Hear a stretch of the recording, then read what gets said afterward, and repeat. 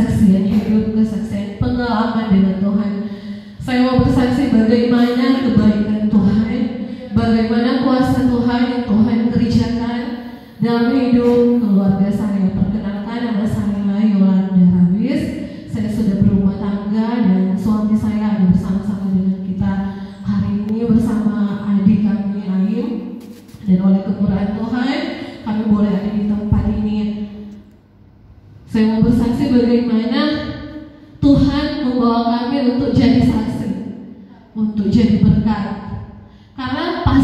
Kerinduan kita kalau Tuhan izinkan hidup, kita mau jadi berkat bagi orang lain. Kita mau jadi saksi bagi orang lain. Ada banyak cara yang Tuhan bawa agar kita boleh jadi saksi, agar kita boleh jadi berkat dengan caranya Tuhan, bukan dengan cara kita. Dua tahun kami bergumul dalam rumah tangga untuk mendapatkan keturunan dan Tuhan jawab. Dua tahun Itu pun kehamilan saya itu bagi saya kehamilan mujizat. Satu kali Pastor Ebi ke rumah kami, dia sharing tentang Abraham, dia sharing tentang Sarah. Di situ saya aminkan bahwa apa yang Tuhan buat bagi Sarah itu Tuhan mampu buat bagi saya. Dan saya aminkan bahwa waktu itu Tuhan sudah taruh benih di rahim saya.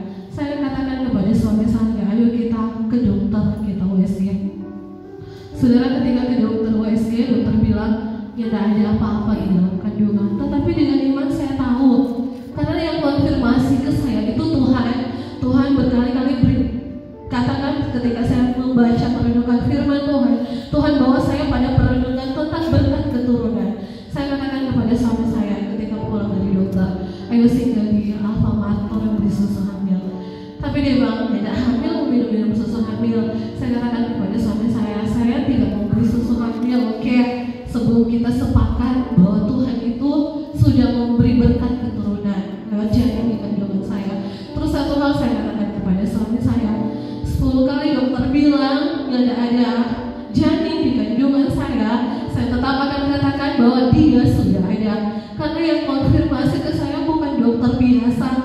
yang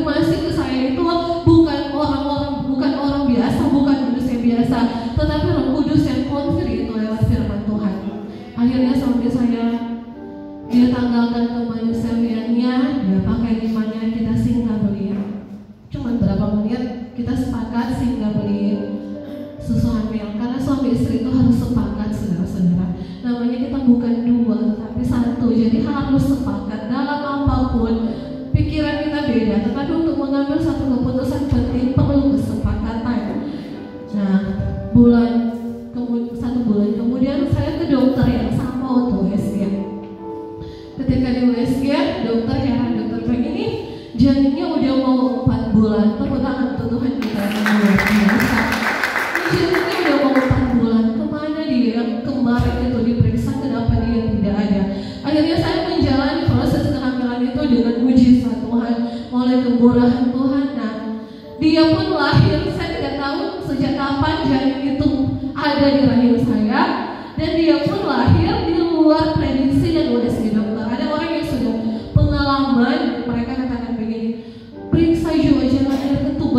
kita bilang Tuhan tidak mau dikasih saya kalau belum waktunya Tuhan yang mau keluar dari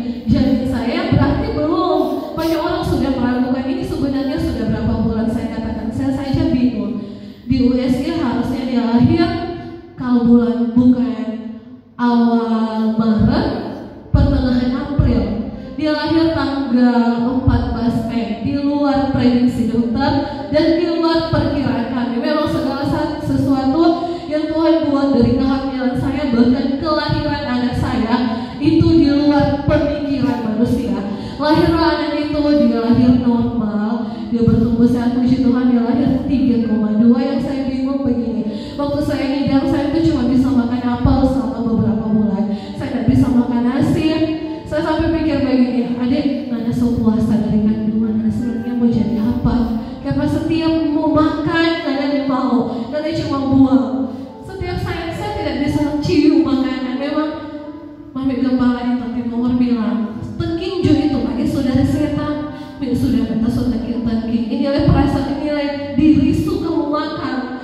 bisa usia 9 bulan baru saya mulai bisa makan. Itu pun masih pilih-pilih makanan. Dan yang saya heran dia lahir 3,2 saya bilang sama Tuhan betul Tuhan yang tenur jadi Tuhan yang kasih pertumbuhan anak ini dan dia lahir normal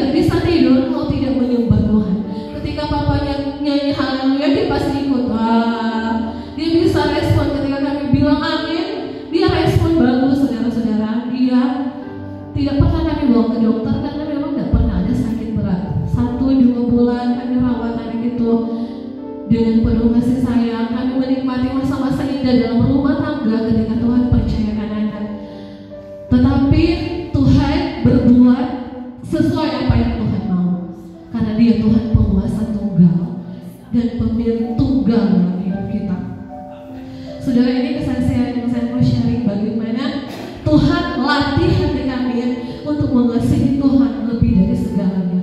Tuhan bawa ini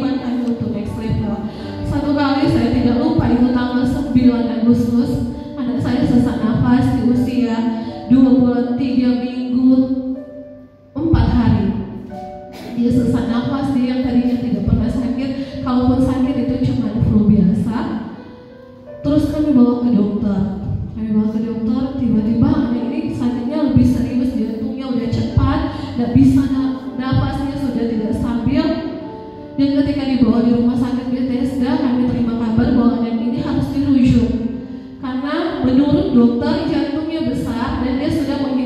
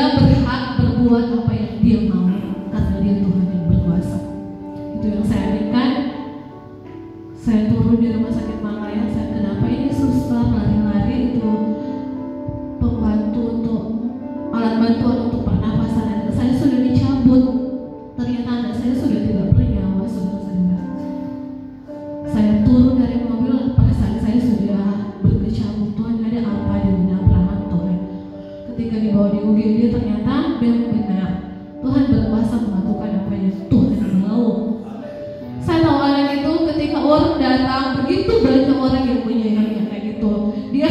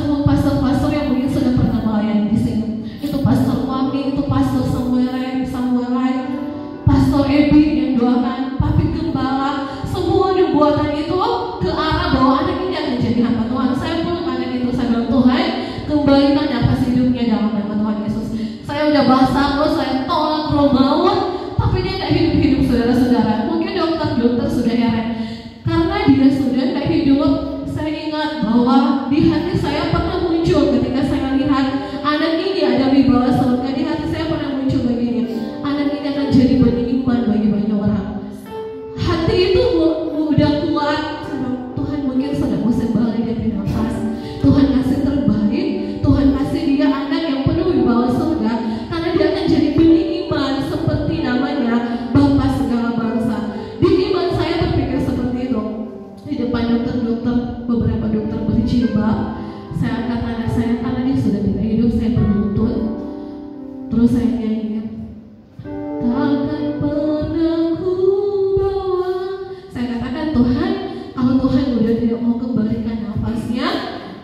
Ya berarti saya bawa anak ini sebagai korban saya di hadapan Tuhan.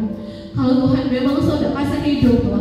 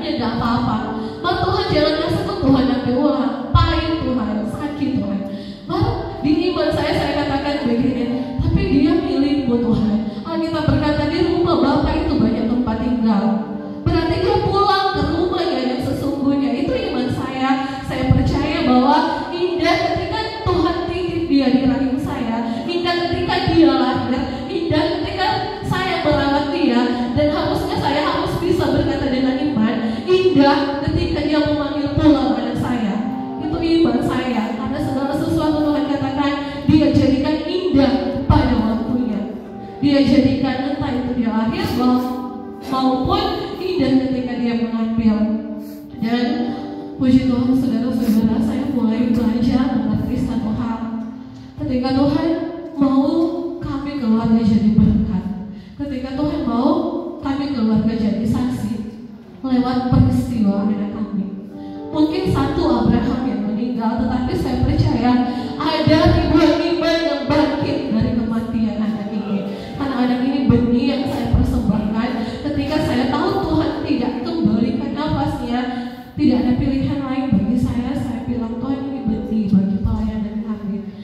hebatnya untuk iman orang-orangnya satu orang yang mati. Dan saya heran video kematiannya beredar. Ada beberapa kali saya ketemu dengan orang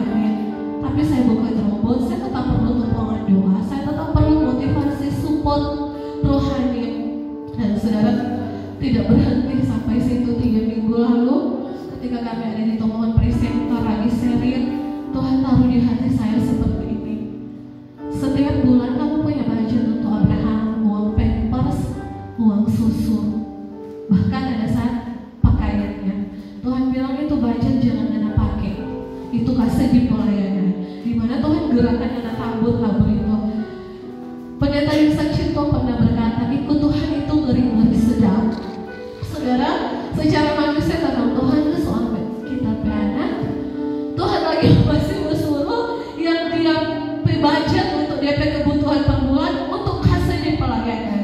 Tetapi saya tahu Tuhan tidak pernah salah. Tuhan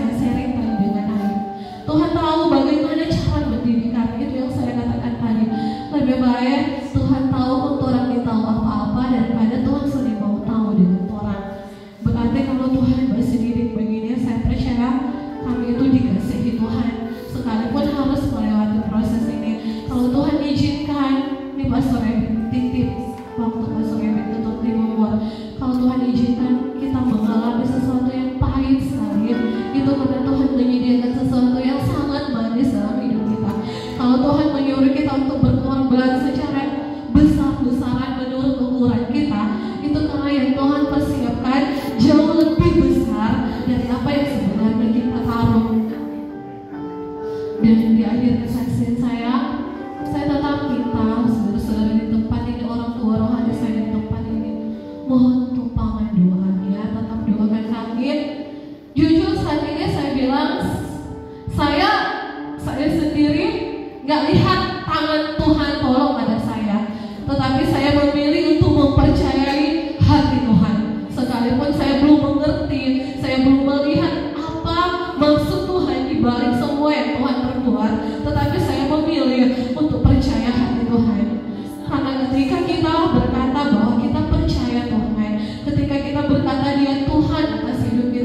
berarti